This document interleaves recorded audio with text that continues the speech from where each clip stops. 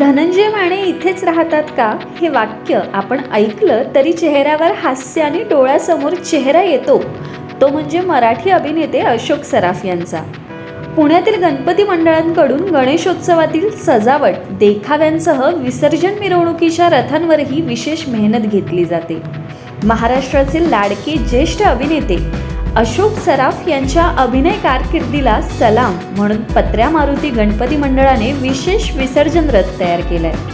अशोक मामांचा हास्यरथ असं नाव असलेला हा रथ अशोक सराफ यांच्या गाजलेल्या विनोदी भूमिका आणि संवादांच्या कटआउटने सजवण्यात आलाय.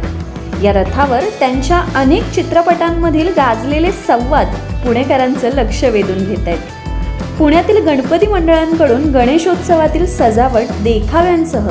विसर्जन मिरवणुकीच्या रथांवरही विशेष मेहनत घेतली जाते. यंदा अशोक सराफ यांनी वयाची पंच्याहत्तर वर्षे पूर्ण केल्याच्या औचित्याने पत्र्या मारुती गणपती मंडळाने हास्यरथ तयार केलाय. या रथाची संकल्पना कौस्तुभ निकम आणि अमित बडवे यांची आहे. चला तर अशोक मामांच्या या हास्यरथाबद्दल आपण अधिक जाणून घेऊया.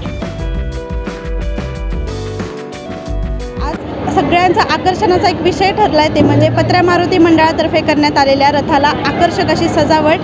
आपल्यासोबत अधिक माहिती घेण्यासाठी आपल्यासोबत आहेत अमित बडवे ज्यांच्या संकल्पनेतून आणि जे उत्सव प्रमुख देखील आहेत.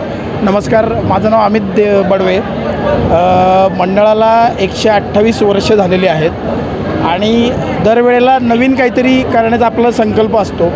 आणि पहिल्यापासूनच म्हणजे लहानपणापासूनच मंडळामध्ये आणि सगळ्यांमध्ये म्हणजे आमच्या पूर्ण टीममध्ये अशोक मामांचं एक वेगळं स्थान आहे. म्हणजे आजही आमच्याकडे एकमेकांना धनंजय माने या नावाने आवाज दिला जातो.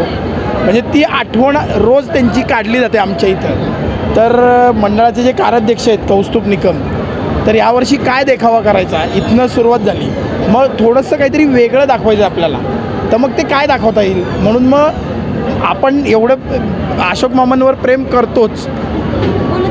तर अशोक मामांवर प्रेम करतो तर मग अशोक मामांचंच का देखावा करू नये? म्हणून मग देखाव्याला कमी दिवस राहिल्यामुळं आम्ही ते करू नाही शकलो. पण म्हणलं मग आपण अशोक मामांचा रथ करूयात हास्यरथ म्हणून मग आम्ही अशोक मामांचा हास्यरथ ही संकल्पना ठेवली.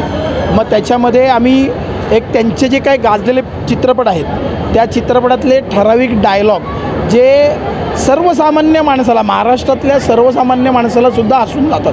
म्हणजे जो एखादा खूप डिस्टर्ब असेल तर तोही अशोक मामांचा पिक्चर पाहिल्यानंतर एकदम स्ट्रेसफुल जे असतो तो एकदम नॉर्मल होऊन जातो. तर ती संकल्पना डोक्यात ठेवून कौस्तुभ निकम आणि मी आम्ही दोघांनी ती संकल्पना सत्यात उतरवली.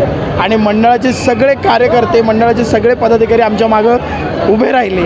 त्यांनी आम्हाला जो विश्वास दिला त्यामुळे आम्ही हे इथपर्यंत करू शकलो. आणि आता कसं झालं की मंदिरं किंवा पक्षी बाकीचे सेट हे बघून लोकांना आता त्याची सवय झाली आहे. ह्या वेगळं काहीतरी आपण देण्याचा प्रयत्न करतो. याच्यामध्ये सगळ्यात महत्त्वाचं आहे की एखादा माणूस जो प्रसिद्ध माणूस आहे तो गेल्यानंतर त्याचं कौतुक होतंच. पण तो जिवंत असताना त्याचं कौतुक का नाही केलं जात? म्हणून मग ही संकल्पना डोक्यात ठेवून आम्ही मामांचा विनोद सम्राट यांच्या अमृत महोत्सवानिमित्त अशोक मामांचा हास्य रथ अशीच संकल्पना डोक्यात ठेवून आम्ही हा रथ केला.